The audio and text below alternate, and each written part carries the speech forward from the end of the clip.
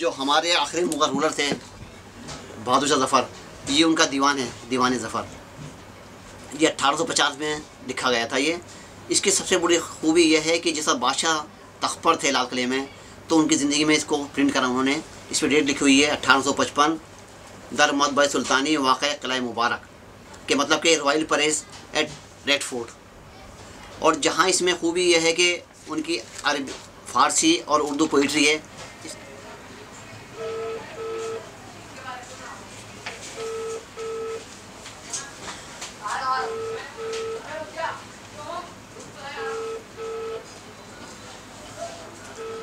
है इसके लास्ट में उनकी जो है पंजाबी पोइट्री भी इसमें दी है जो कि किसी अब किताब में नहीं मिलती है ये।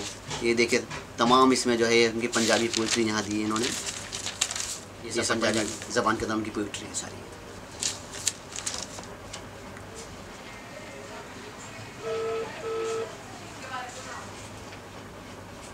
ये भी तकरीबन एक सौ पैंसठ साल कदीम है अठारह सौ पचपन की किताब है